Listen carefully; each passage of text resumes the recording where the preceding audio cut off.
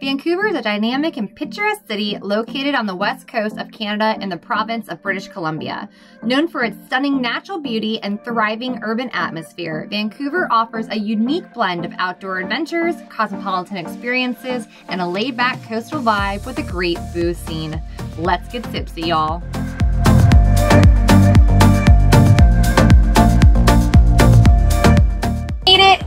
Into Canada. Yay. I know. How exciting is that, right? Yay. So we have about an hour drive up from the border to get to Vancouver, where we'll be for a whole week before making our way to Alaska.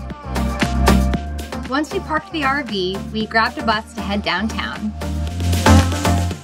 We just got to the Gastown area here in downtown Vancouver. We're off to find the Gastown steam clock. Built in 1977, this steam clock is one of the few remaining steam-powered clocks in the world. Every quarter hour, the clock plays a melody while steam is released. The Gastown neighborhood is a popular destination with its charming cobblestone streets and trendy restaurants and boutiques. We headed down to the Alibi Room for a drink. With over 50 beers on tap, we grabbed a pint and a snack and enjoyed this beautiful weather. Alibi Room was great. Lots of really great taps. They had suggested another brewery just down the way. It's about a five to 10-ish minute walk. So we're gonna go check out what local beers they have on tap. Founded in 1995, Steamworks Brew Pub is a microbrewery based in the Gastown neighborhood. We grabbed a flight of both flagship and seasonal beers to sample before heading home. That is a wrap on Friday. We're gonna go call it quits tonight. We're gonna start fresh first thing in the morning. Yeah, first thing. Good night. Despite having a full kitchen in the RV, we opted for a baked good this morning and we made our way to Angus Bakery for breakfast. We went with croissants this morning. I got the spinach and feta, and Chris got a. Balsamic, onion, and bacon.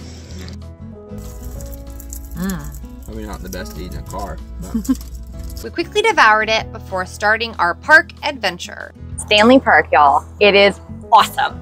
So, this park is a thousand acres. To put that in perspective, Central Park is 850 acres. Yep.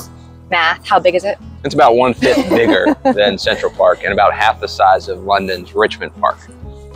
So it's amazing how they have structured this entire park here. It's full of different trails.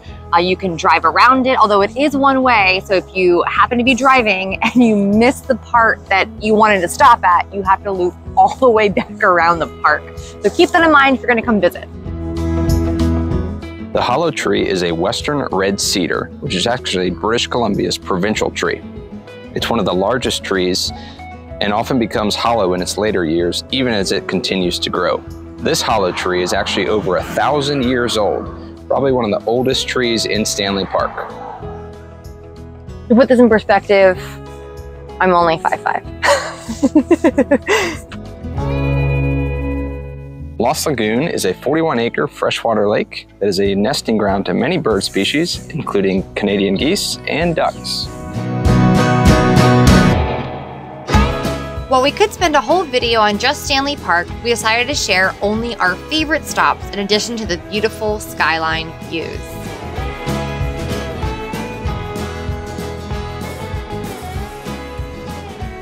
We are more than halfway done. We just saw the totem poles and there's a lighthouse we want to go see. And then we're going to go find some beer. About time for a brewski. I definitely think it's time for beer. Stanley Park Brewing is located in the actual park. We decided to split a flight again and enjoy this weather. You may be wondering why we have both a flight and a bigger beer here. Well, I'll tell you. Anytime we get a flight, Sam always takes it immediately away from me and to go take pictures and videos, and I never have anything to drink. So I'm just sitting there biding time until I get my beer back.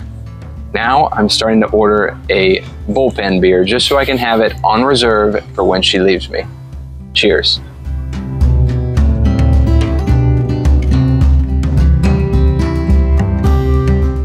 Spent a majority of our day in the park, but went into the city for a quick cocktail.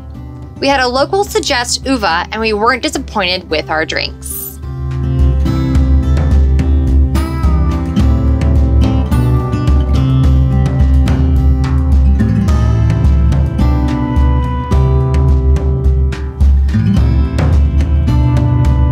Granville Island Market here in Vancouver is an indoor market that has different art shops and food shops and produce and all sorts of little boutiques and we're about to go check it out. Our first stop at the market was at Lee's Donuts, which are infamous among locals and tourists. Established in 1979, Lee's Donuts has gained a reputation for serving some of the best and freshest handmade donuts. Grabbed a classic and a Bavarian cream filled one to try. We are here at the market, and everywhere you go, there are so many smells and so many great things. Sensory overload, food overload. We are so hungry now. Wait till you see food. If you're going to visit the Granville Island Public Market, make sure you come hungry. There's so many different things to try, you don't want to miss out. As the Granville Island Market is actually on an island, be prepared to take a water taxi across the way to get to it. Absolutely stuffed from lunch, we ended up going downtown for a drink and ended up at Earl's Kitchen. A popular chain here in Canada, Earl's serves food and has a complete bar, but what we were here for was to try some Canadian wine. While we didn't get to visit this trip, we hope to make it out to their wine region soon. Joe Forte's Seafood and Chop House is a renowned seafood restaurant that has become an iconic institution in the city since 1985. Of course, we got the oysters, and I ordered the salmon while Chris had cioppino, which is a seafood soup. We were celebrating our wedding anniversary, and they brought us out a nice treat for us to enjoy. Having spent the majority of this day eating and exploring the city, we went home to enjoy a very quiet evening with our kitty. There are two suspension bridges in the area for Vancouver, but we decided to visit the free one at Lynn Canyon Park. This particular suspension bridge is over 165 feet tall and stretches 160 feet across.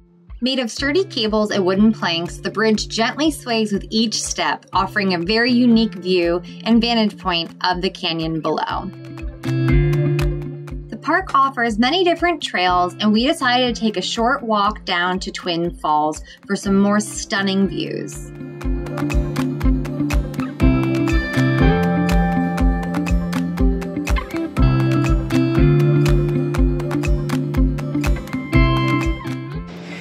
It's been a hot minute since we've had to climb up a lot of stairs. I guess this counts as working for that beer.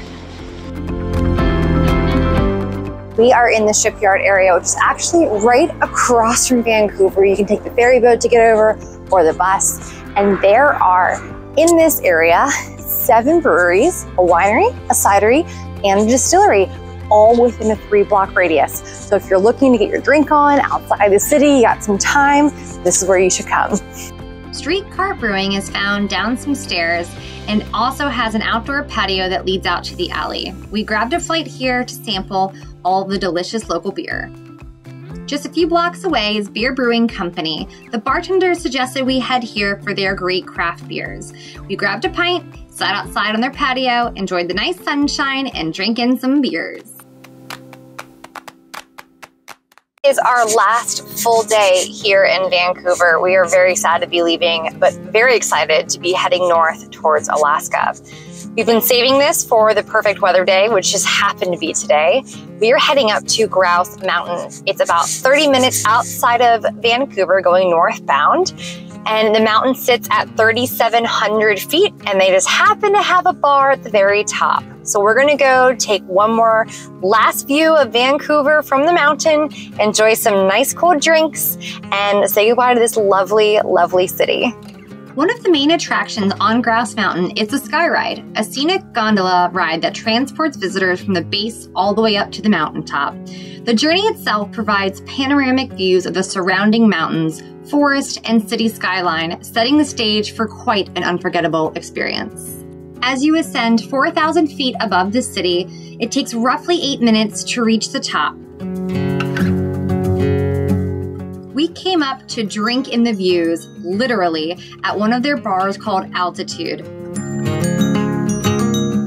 With a large sprawling patio that overlooks the mountain in the valleys below, it is quite the spot to have a drink. We couldn't leave Canada without trying some poutine, so we enjoyed it here on the mountaintop. During the warmer months, it offers a variety of hiking trails that showcase the natural beauty of the region. The mountain itself is home to a refuge for orphan grizzly bears, although they were hibernating when we were visiting. We did, however, get to see our lumberjack show, which was quite an interesting thing if you've never seen one.